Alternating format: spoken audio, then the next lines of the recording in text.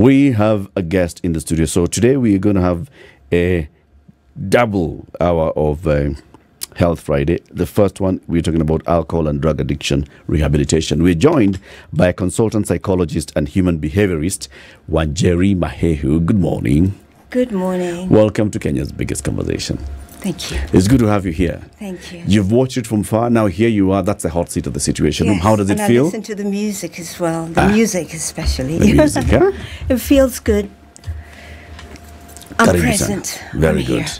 Very good. Welcome. Yes. Thank Wanjiru you. Ikonyo is our guest host. Say hello to her. Hi. Hi. Good to meet you. yeah, good to meet you too. I see somebody on social media saying that uh, I did not give the day's proverb at- for the they? first time ever. That is not true. But anyway, if you missed it, here is the day's proverb. Wanjeri, Wanjeri, let me give you the day's proverb. CT, our, our co host, is away on holiday this week, hmm. but he always has a proverb from one African country per week. And then he has several proverbs every day, a new proverb. This week, he gave me the honor and told me, give them proverbs from West Africa. I bequeath you my powers. Imagine. the responsibility is immense. Oh my god. You have borne it very well. We are so proud of you. Thank you. Say that again. Mostly proud of you. Why is there all Stop that? fishing. Stop fishing. The Okay. elders. The proverbs from West Africa are from these three countries Niger, Burkina Faso, Mali, around that region. Okay, the people uh, commonly called the Songhai. The proverb says, It is true that the camel will eventually die, but he will never stretch out and lay flat on his back. It is true that the camel will eventually die, but he will never stretch out and lay flat on his back. What's your interpretation of that? He doesn't give up.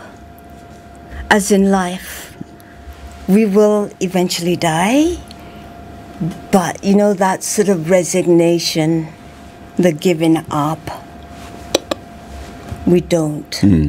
Yeah. He'll always be It's- upright. This is my first thought. Yeah. Hmm. Nice. Nice. Good interpretation. Mm-hmm. Thank you. Asante sana. Now, you are a consultant psychologist and a human behaviorist. Allah, mm. there's a difference. Mm. Uh, what's the difference? The difference is with psychology, we're talking about the self. Mm-hmm. Human behavior, we're talking about the self within a society, within a culture.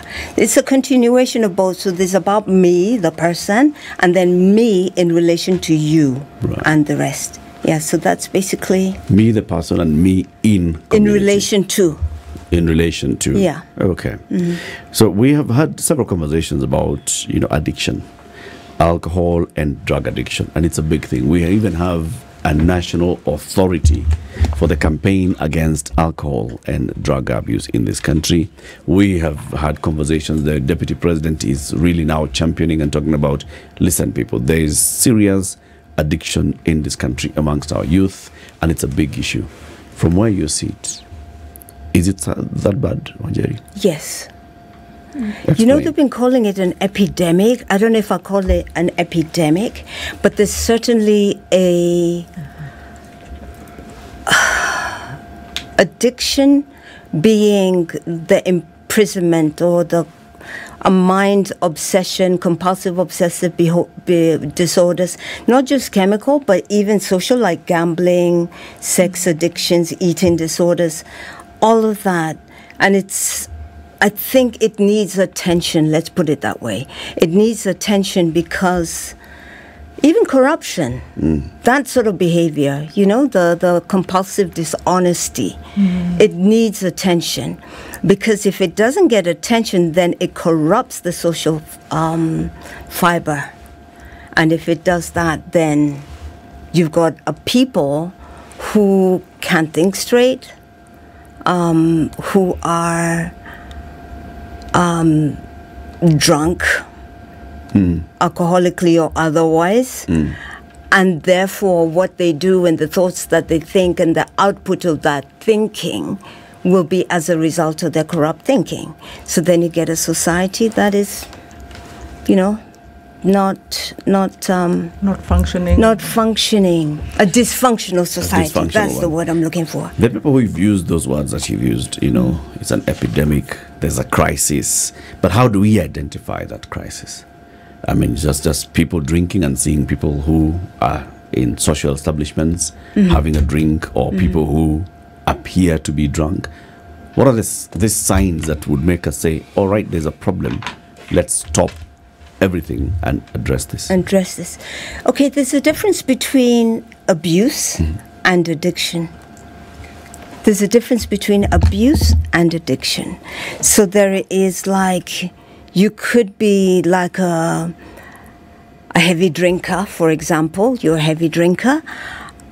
What's the difference between a heavy drinker and an alcoholic? Because there is a difference. Mm-hmm. So you'll find a society that, you know, this heavy drinking is a culture. Even Europe is like that, you know, pinting and that sort of thing. And it's a culture people drink, they drink a lot, they get drunk and the alcoholic. So the difference is there's the heavy drinking sort of culture and use of drugs, smoking weed, um, disco pills, you know that sort of thing, a culture, and the addict.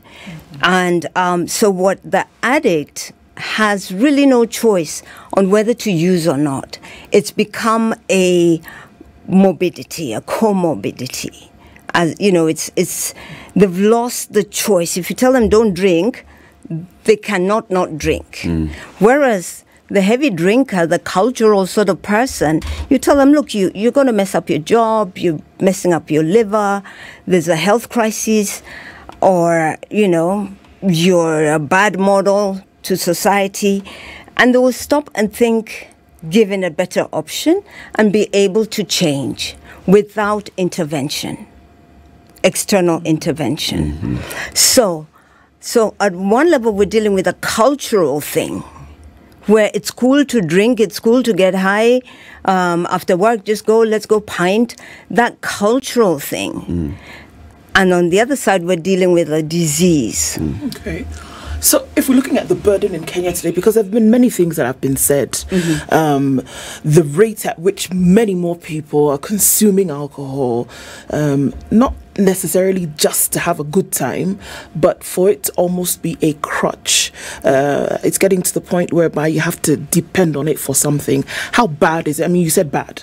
How bad is it now when now we're able to separate between the two, whereby folks are not just having a pint, as you say, to enjoy a Friday evening or get into the weekend, but that now we're actually seeing more and more people become addicted and then it becomes a problem or a dysfunction.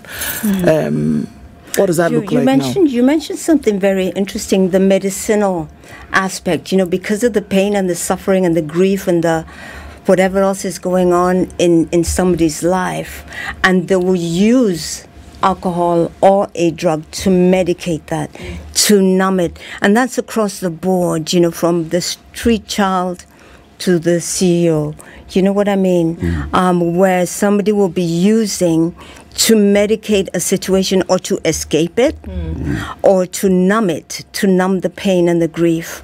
Um, so that goes to say that in a way our society is not transitioning very well when we think of our original culture where our governance was established, you know, we had the aunties, the uncles, the grandparents, we had a social framework, you know, and the child born into that was taken care of in each and every Rika, you know, each and every aspect of the you, yeah of their life, and so there was the safety of that culture. There was ways of governing the psychosocial diseases that would crop up.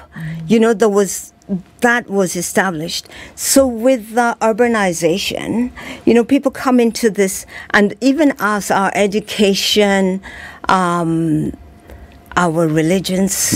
You know, we're coming away from our inner culture, that safety, that security of who are we.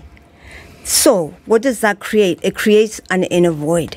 And that void is what causes this pain. And then when I am in pain, I behave badly to you. And then you're in pain and you behave badly. You know, so this the dysfunction begins to happen and isolation, a depression, uh, fear and anxiety, um, guilt and shame. You can, you know, a whole bunch of things which then now brings about the mental, the mental We, illness. have we've heard it many times, but maybe you can just do. What does then alcohol do, or drugs do, in a situation whereby you may feel some kind of pain? What does the alcohol actually do uh, for you? It numbs it. It numbs it. Um, and it, it, it tells you all is well. Alcohol is actually a depressant. But the effect that what we call the high, the effect of intoxication, it tells you, it brings you to that happy place, you know, the place where I'm no longer shy. I can speak, I can do this, I can speak to a girl, I can, you know, um, boys Gives you confidence. you know you know you you shed all your social um, inabilities and Inhibitions. uh, inhibitions and all of that yeah so it gives you that it's momentary and that's why people pick up the next drink because when that starts to fade away then you top up um, pills um, you know depending on which one you pick. Anything from energizing you, from sedating you, from helping you to sleep, from helping you to cut your appetite, helping you to be more pro- productive, like more energetic, depending on what a person needs, or even just checking out, you know, so as to evade your reality. Wanjeri, this is really powerful because obviously, um, you know, the expectation is when we talk about alcohol abuse, we focus on alcohol, we focus on the drinker. But what you're saying is that there are social factors, there's this numbing factor. Um, and so, if we want to deal with this problem, we have to understand those factors. Um, so, if you talk about change, change is inevitable. It's Yes. going to happen.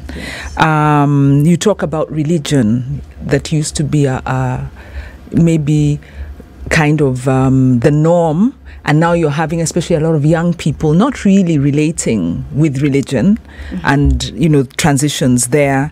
This family structure also has changed. So, is it inevitable then that we will have this pain? And we've then got also a political and economic environment that's And very, very, very toxic, very harsh. I was very pained. Um, there's this student, and I'll keep repeating because it really struck me. This young lady who challenged um, the senator of um, Uasin Gishu. Wasingisho. And the question she asked, Do you know um, An antidepressant. an antidepressant. Do you know the name? And you know, I could hear the pain. And she was saying so many young people are, are on antidepressants. And I was like, my God, this conversation is so much more than than you know, it's so wide. So what's what what's happening? And how do we deal with this? Is this inevitable? Or what can we do? And are we doing the right things as parents, as communities, as government? Pain uh, change is inevitable. How we manage the change that's where i think we need to put our heads together to manage this change and also to realize that the change on our end of the world is much faster than what you would say like US or somewhere. Our cultural shifting is so much faster. So we need to put our heads together on how do we manage this change on all the different aspects. So you've got the mix of education. Mm. What is in that mix? What are we putting into the minds of our children? And how early do we start educating them on psychosocial issues should it be part of the curriculum?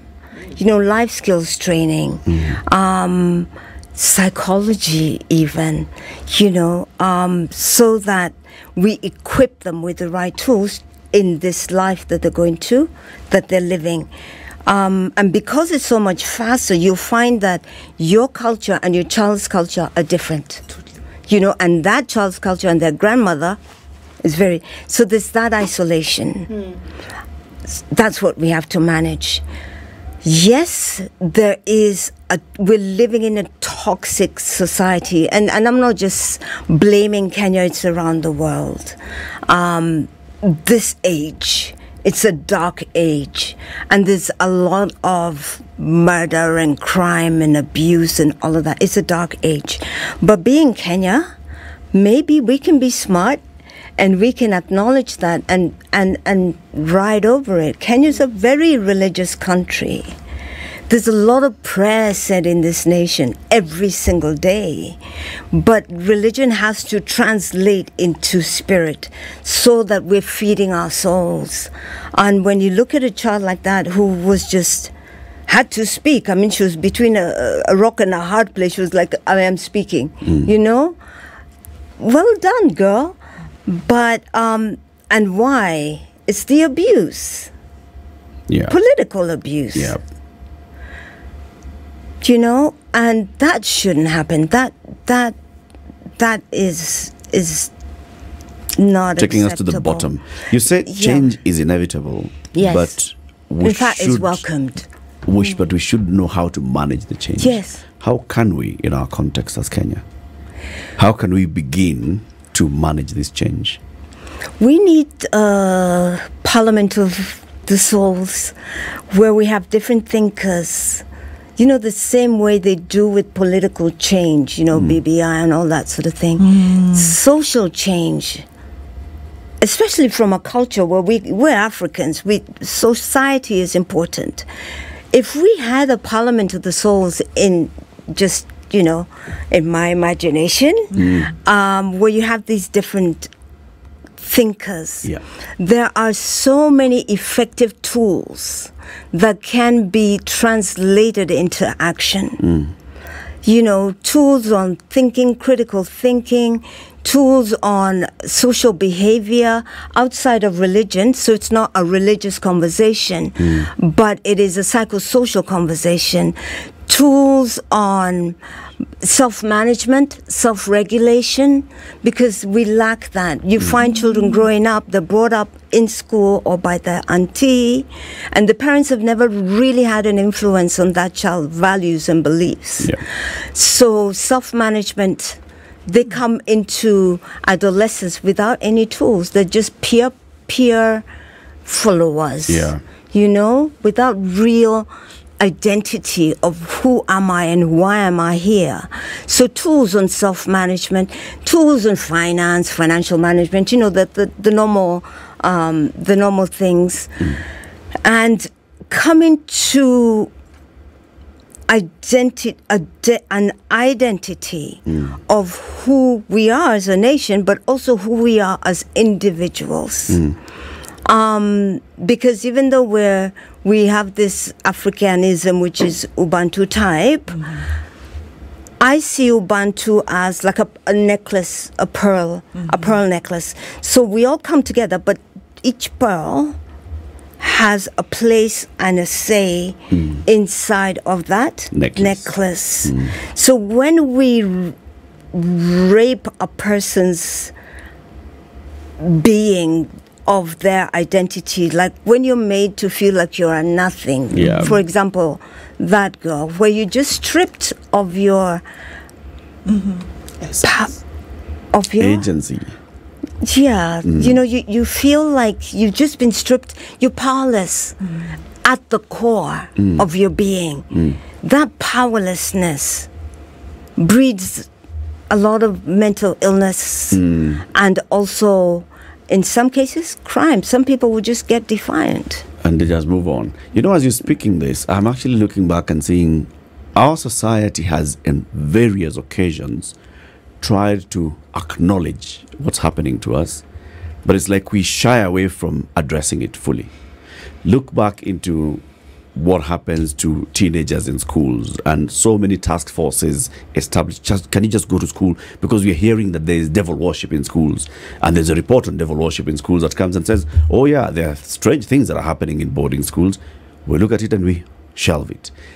Even in our constitution making process when Yash Pal Ghai and team went around the country the issue of our social fabric and our moral fabric emerged but we didn't address it. BBI touched on moral fabric and values. It emerged, but we don't address it. The president established a task force on our mental health. They came back with a report and said, My friend, there's a crisis. Mm. Declare this a national disaster. We didn't address it. Yeah. When Mututho was in parliament and he brought up the issue and said, Look, there's a crisis in the country. Can we establish a framework that use, helps us to address it? And we formed NACADA. We created NACADA and then we pull back. It's like every time we try to look ourselves in the mirror, we see what we are seeing, we're like, okay, yeah, let's- We'll sort it out. yeah, we turn away and we want to ignore that.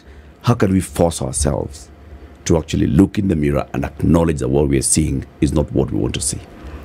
Well, reason being, okay, part of part of that is the fear of our own reality. Mm-hmm. Looking in the mirror, it's hard for a lot of people, even in their own lives, to see yourself for what you are. Look at your defects, look at your failures, look at your moral fiber or lack of it, and just address it. People don't have the courage to do that. And so when you look at these committees, yes, we can be academic about it. Mm-hmm. We can be Legal. professionals about it mm-hmm. and come up with these frameworks of this needs to be done.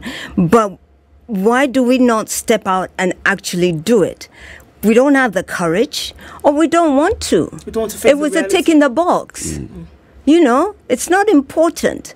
And so what we are saying it, it is important. We're losing ourselves. And when you have people empowered with a broken spirit and a broken mind you get corruption. You mm. get people who mm-hmm. you know what i mean? You you've got a powerful madman. Mm. Mm.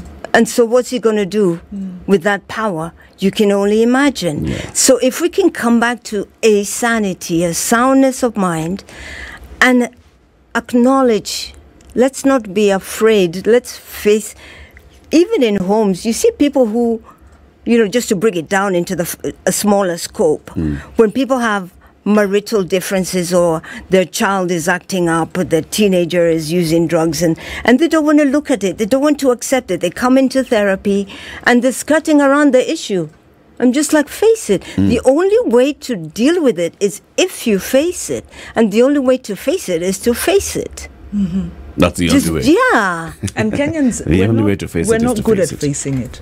We we tend to we avoid strong, deep interpersonal. Yes. And that is the dishonesty. Hmm. Alcohol and drug abuse is a symptom. It is the symptom of an underlying issue. And that underlying issue is what you're saying we never get to because we deal with alcohol and drug abuse as the issue. You understand? Mm-hmm. You can quit drinking as an alcoholic and never change, mm-hmm. but you don't drink anymore. We want the change. We want the transformation. We need to go deeper and deal with the, the issue. Now, if you look at alcohol and drug abuse and addiction as, as such, it's a disease that tells you you don't have it.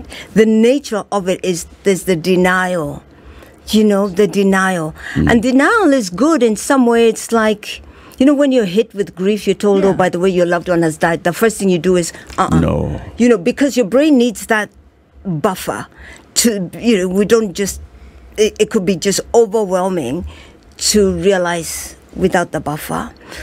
Okay, so we have the denial, but we need to na- take the next right step. Now, this is where it gets political in, in many ways because the next right step, you know, conferences, meetings, committees, da da da da da, tick in the box, travel, go for conferences, da da da da da da da. Yeah. And you know that there's a lot of hype in it, and there's a lot of, um, I mean, there's a lot of even mm, uh, government facilities have been offered for rehabilitation, but it has never reached, it has never done. Back to our social illness of, um, you know, where do the funds go, or people mm-hmm. are just there to get to get. Mm-hmm. It's an office. It's an office. It's a job.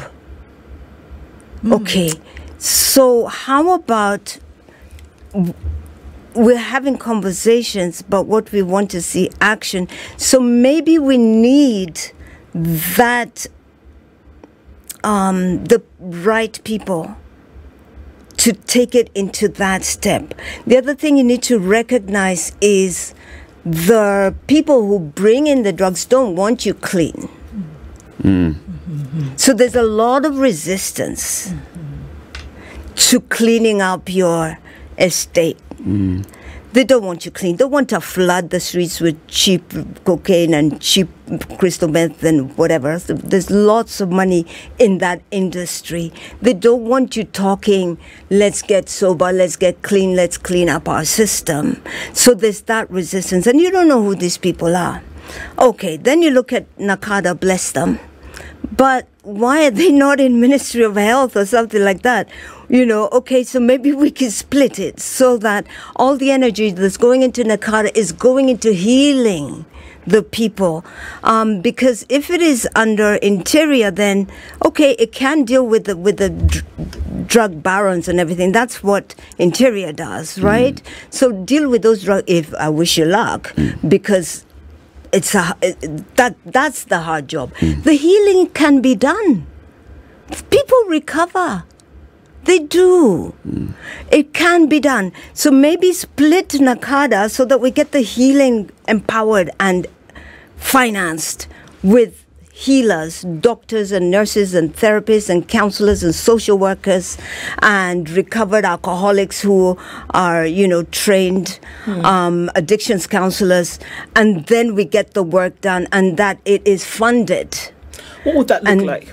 What would that look like? And I'm going to premise that on some of the examples that we've seen. I don't think two days go by before we see a story, whether it's covered in the paper, whether it is a news bite that we see, where something has happened as a result of clear um, um, mental health issue that could then be realized through the use of alcohol. It could be realized drugs. It could be realized that somebody has murdered somebody else, and it's clear that we see this, right? Yeah. What would it look like that you talk about this splitting NACADA? All right. What would happen? Would you have a resident psychologist, psychiatrists in every Huduma center? Would you have in all public hospitals somebody who sat there and that was funded by government who would sit and say, "Let me listen to your issues"? Um, would it be at every police A station? national call center. Would it be? Would there be a call center that I could call toll free 0800 and speak to somebody on the other end of the line? Yes. We start to embrace this culture of speaking because that's one of the major problems, isn't it? Yes. That we used to have a society whereby there were levels whereby you- you could share, Yeah. whether it was your family, Your whether granny, it was your your, co-wife, whether it was your uncles, whomever, whether it was the elders in the community. Hmm. There was somebody you could take issues to. That has diminished over time. Yeah. So it's an isolationist kind of operation that we are all in today. Lucky are you who you have a friend to speak to, right? So that's where we see this action, this behavior of saying, well, let me rely on somebody else. And this somebody or something else then becomes the drink or whatever. That's who we rely on now. So we're saying essentially flip that and bring back in whatever capacity our Village. our village. Is it not? I That's what love saying. that. Bring back I our love village. that. Village. Yeah. I love that. So we're saying, uh, um, now if you can't sit under the tree, as it were, under the Udala tree, as we say in my village, put the person where they're accessible. Where you go to get your ID that frustrates you, there's somebody you can speak to. Where you go to get your medication, there's somebody you can speak to. You have a phone, pick it up, and there's somebody at the other end of the line that you can speak to about issues.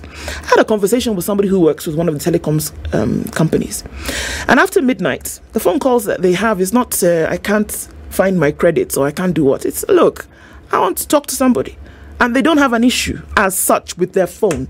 They have an issue with here. Mm. And here. Yes, away. and here. And here. So isn't it And time then we got a little bit more deliberate about how we deal with this thing? And so I hear AI you will saying, come. let's mm. split this brick and mm. mortar and bring in the subjective, the software of this thing. And you know it's interesting what, what you're needs to saying. It's happen? Yeah. yes, it's being done. I remember how many years ago, well, some many years ago, and we were uh, minis- the HIV campaign. Yeah. Ministry of Health hmm. did that. They trained many counselors. Every district hospital was manned. That's why I'm saying empower the Ministry of Health. They have manuals of how to counsel. They were ready to go around all the districts, all the district hospitals in the country, so that when somebody calls in for help, you send them to their nearest counselor because there will be somebody.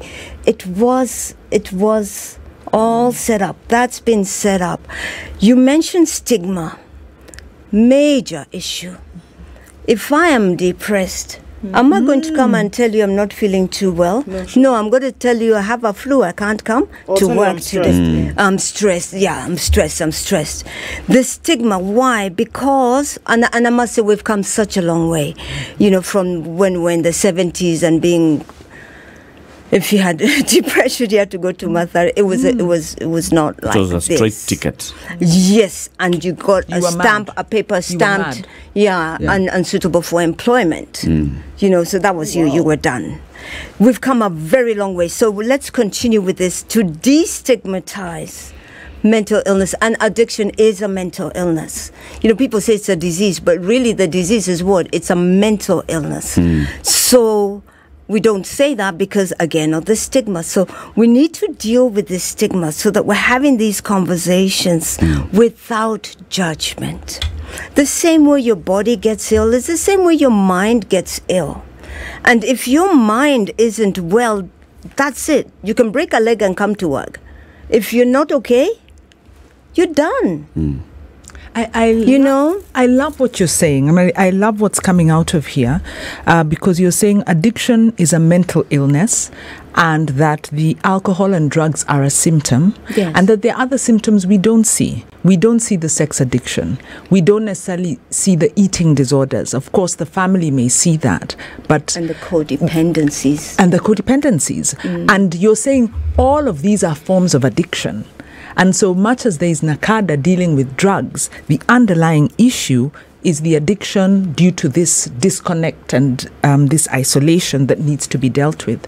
And what you're also saying is that we need a social solution because I think we've done the legal, Yes. um, there's medical intervention as well.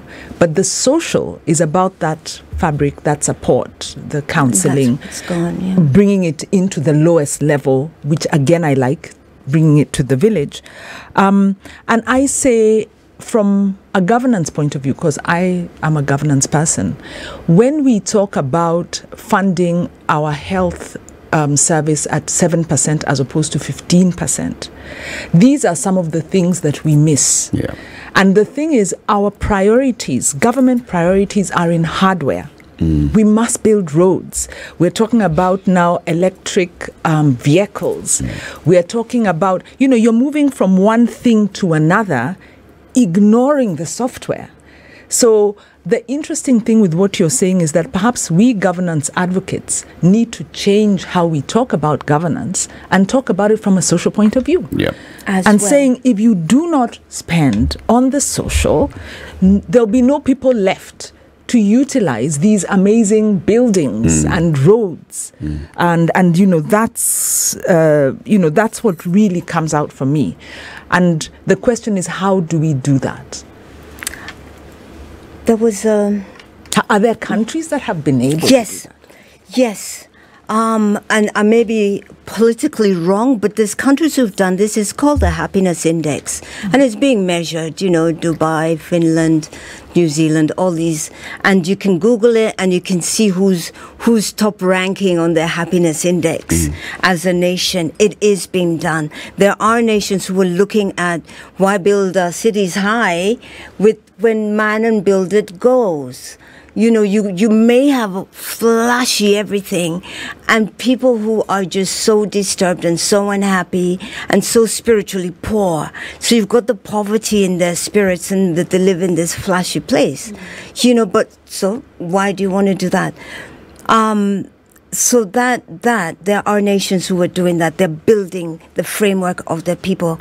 Um and what happens when you do that you get more productive you find that the economic output is much higher because you come to work happy, you're, you're more productive, you're more peaceful, crime goes down because crime is also often born of disturbed minds.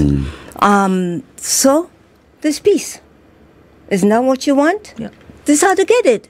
Look after your people from the inside. From the inside. So you're saying that even our crime management, and we said this when Shakahola, you know, took place, and we were saying um, the social setup had broken down because this happened in full view. Well, not in full view, but you know, there's a community around that, and we've had other discussions here. And what we are saying is that our social fiber is eroding, broken, almost lost. And as a country and as a society, it means Kenya may actually be on a very downward trajectory It is. beyond the economics because we don't have the foundation to sustain ourselves as a society. How do we get this message out there? Number one, this is what we're doing now. Mm. Thank you for this platform. You know, if media supports us, because there are many voices saying this. So being supported by media, getting the word out and out to the right ears um, is number one. It- awareness. Awareness. We are very religious people and you would think with 85 is it 85 percent Well, yeah. yeah something mm. like that Religion. yeah. why is our society broken it means that it's not translating Yep. spiritually you know because you mentioned the Kilifi thing you know and we have a mix which people don't talk about our spirituality can be negative or it can be positive so we need to manage that. In the 60s, there was the moral rearmament movement here. The moral MRA, that was what MRA wanted to do, was to rearm morality. You know, rearm ourselves. Okay, they got banned and thrown out um, because they were, you know, putting their heads into the political framework. but the essence of MRA, that's what we need you know where where it's not, uh, not religious hmm. but it's just saying look you need to feel happy. You need to feel have inner peace which is the opposite of madness. Hmm. You need to feel sp- uh, not spiritually bankrupt but fulfilled Yeah. which is the opposite of addiction. Because one of the inner symptoms of addiction is the spiritual bankruptcy. Hmm. That sort of powerlessness just empty you you mm-hmm. hear people saying i feel so empty i feel so mm-hmm. that thing Yeah. um, so that you you're you're tanked up nicely, you know. Mm. Uh, yeah. So from within, from within, and then on the other side, we need to watch what we're allowing through our borders. Mm-hmm. We can't be that nation who says no to drugs. You know, there's a lot of money in miraa. There's a lot of money in muguka. there's- Yeah. Um, okay. So guys sit down and figure that out. What? The other thing that's never talked about is flooding a nation with drugs is a way of suppressing that nations and you'll it's been documented like in the Bronx in New York and mm-hmm. places like that where people intentionally mm-hmm, mm-hmm, flood your streets with drugs to corrupt your mind so that you're hmm. dis- so could you that know, explain, if based on sorry to is could that explain what's happening in Kenya today? Because we do know that there's been an infiltration of experimental show drugs right now.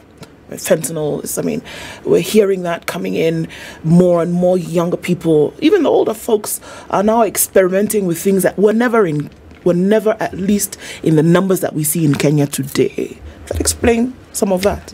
Yeah, that's way beyond us because then you're talking about very high politics.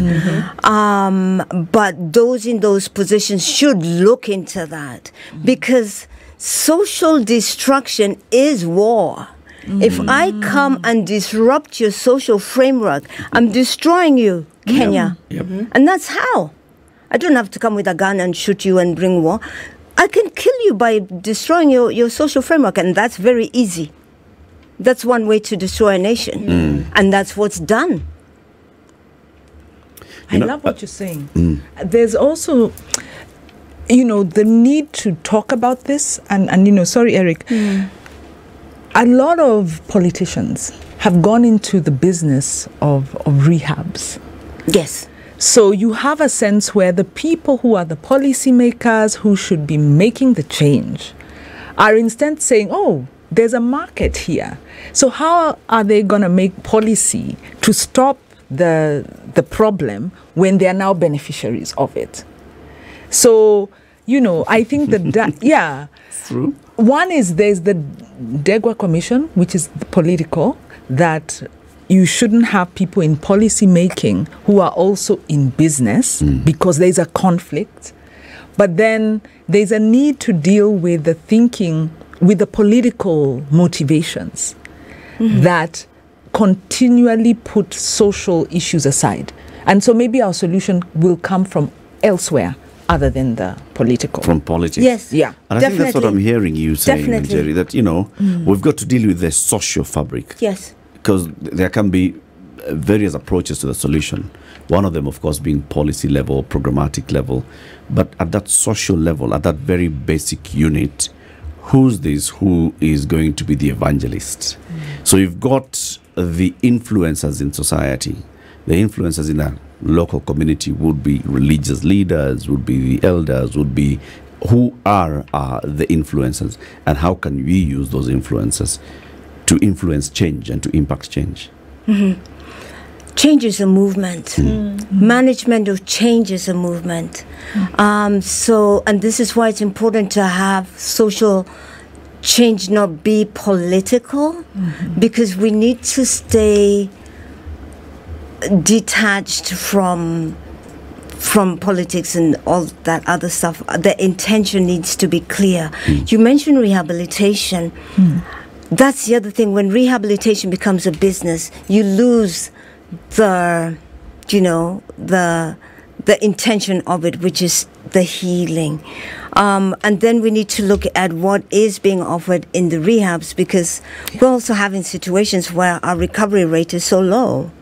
Um, you know, 40%, maybe even less, Yeah. which is very low And why is that? because of the programs. What is being offered when you get into the into the rehab? Um, a good rehab will get the addict ready to. If they're not willing to get clean, a good rehab will get them to the to the place where they are willing. Because without the willingness, nothing happens. But you can that treatment should get them to the place where they're like, okay, I get it, and and they surrender. Now, if it is a business, fill the beds, make the money, go. The Come many back. times you come back, wonderful. We mm. make more money. No, not not. I don't. I guess maybe they don't do it consciously, mm. or maybe for lack of knowledge. But I think more needs to be done in terms of the programs being offered mm. inside of these rehabs. And we need more mental health, government mental health hospitals. Mm-hmm. Um, and we need them looked after. that are not damnation Yeah. centers. Uh, yes, we need them looked after. Hmm. Some dignity. Yes, We need dignity brought back into mel- mental health treatment mm-hmm. because it's an illness just like any other. Mm. And it can be treated and people do recover mm. and function normally. It's doable. It's doable. All this is possible. Yes, It's imperative. it is. It's imperative. Speak for 40 seconds to everybody who's watching you this morning. Oh, I'd like to speak to the addict. Um, addict who, 40 seconds, An addict who's out there suffering, please do know recovery is possible. Reach out for help. There are helplines. Google, you'll find them. NACADA has one. Alcoholics Anonymous has one. There are many free support groups. Don't give in to the disease. Don't. Don't. Surrender to your higher power and reach out for support. You can get well. Recovery is possible. Yes. Is full recovery possible? Yes. Like everything will be back. Yes. Your mental states, your brain, everything. in the sense that hmm. in the sense that how can I liken it to? Let's say, for example, it's it's a notch in the brain you don't have, um, and that's addiction. And so, full recovery will be you're totally functional. You can do anything and everything you ever wanted to be, but you won't grow another notch. You still have that disability in in that space mm. but you can function and that's the goal mm. is functionality and you can function better than you ever did before And with Very dignity. good. and with dignity Thank you very much. Wanjeri you. Mahihu is a consultant psychologist, a human behaviorist, she's been our guest this morning. Wonderful conversation. This is the Situation Room, the only way to start your day.